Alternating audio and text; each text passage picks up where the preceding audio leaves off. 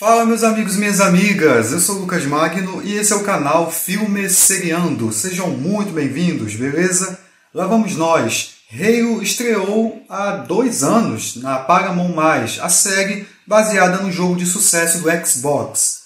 Só que tiveram muitos problemas na produção, troca de showrunner, e a segunda temporada estava meio que esquecida pelos fãs, porque muita gente não curtiu a adaptação, muitas mudanças, os fãs mais hardcore não curtiram. E agora a série retornou e eu nem lembrava prometendo emoção, reviravoltas, investir mais na ação. Muita gente reclamou que o personagem Master Chief toda hora tirava o capacete. Teve de tudo e a conturbada série finalmente estreou. Mas e aí, vale mesmo dar uma conferida? Mudou o showrunner? Melhorou? Após a vinheta eu conto, não sai daí.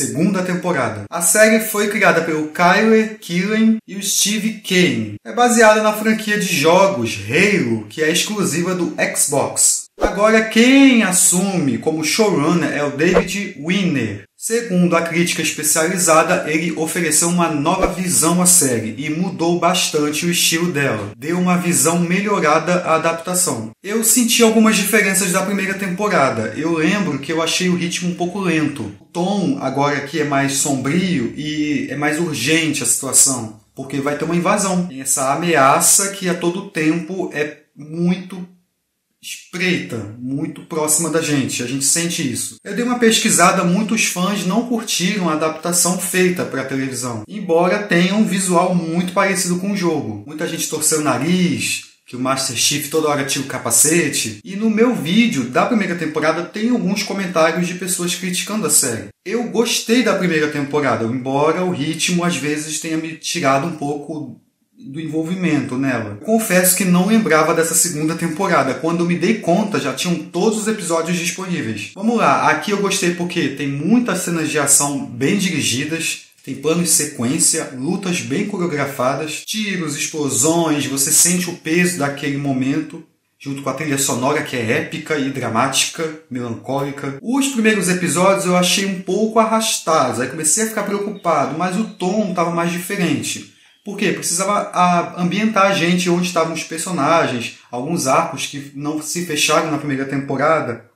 Agora aqui tem uma coisa de conspiração. Mas aí quando a coisa começa a apertar, tem a invasão dos alienígenas, os Covenants, aí a coisa fica interessante. Tem a questão dos soldados que são usados como armas e não têm o valor devido como humanos. Os alienígenas são muito bem feitos, o CGI gostei, usam umas armas, uns escudos, são ameaçadores. Tem os momentos tensos, uma inquietação no ar, essa coisa de mistério e conspiração, os diálogos, personagens novos, questão de hierarquia, quem tem o controle sobre quem, embate de ideias, algumas coisas políticas dá para você ver. Mesmo com essa crítica dos fãs mais extremos, os criadores e roteiristas mantêm a mesma linha narrativa, sem mudar nada. Eles não estão muito preocupados com a estética, e sim com as cenas de ação que emulam o jogo, principalmente nas cenas de batalha. E aí eles seguem construindo um estilo próprio. Tem alguns deslizes, mas no geral a série prendeu minha atenção. Então seguimos o Master Chief, ou o John 117, que lidera sua equipe de espartanos contra a ameaça alienígena Covenant. Após um acontecimento acontecimento chocante em um planeta desolado, John sente que sua guerra está à beira de uma transformação e decide provar algo que ninguém mais acredita. Os Covenants estão preparando uma invasão. Eles vão atacar a maior fortaleza da humanidade. Com a galáxia à beira de um colapso, John inicia uma jornada para chegar ao lugar da salvação da humanidade, Halo. Caso contrário, tudo está perdido. Eu achei muito legal no último episódio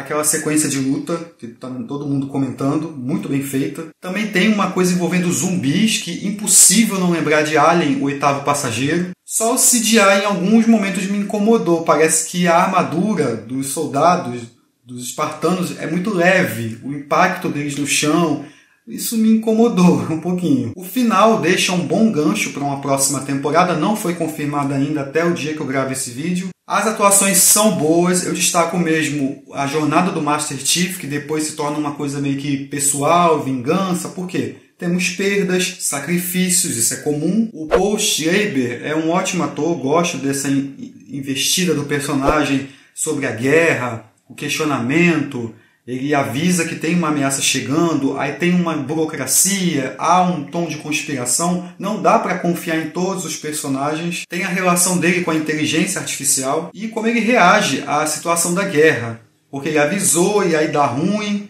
perde pessoas. Essa jornada dele é muito mais bem construída aqui. E aí ele fica muito com capacete? Mais ou menos, tá? Tem também a Natasha McElhone, eu não confio nessa personagem, ela é muito estranha. Joseph Morgan, a mesma coisa. Ele que tem um embate de ideias com o Master Chief. Acredito que ele seja explorado mais pra frente. Tem também a Christina Rodor, Booking Woodbine, entre outros. Em resumo, Halo segunda temporada se mostra superior que a primeira. Mostra mais cenas de ação, bem coreografadas, bem dirigidas, mesmo com a estética Lembrando o jogo, eles procuram investir mais nesses momentos que lembram o jogo e não se vai seguir a mesma história. Eu achei o ritmo melhor, os efeitos especiais funcionam na maioria, o protagonista mais bem explorado, novos personagens, sacrifícios, perdas, um pouco de política. Tem uma boa dose de drama, embora alguns momentos ela se perca um pouco, porque tem esse momento mais dramático, aí tem um corte brusco para ação,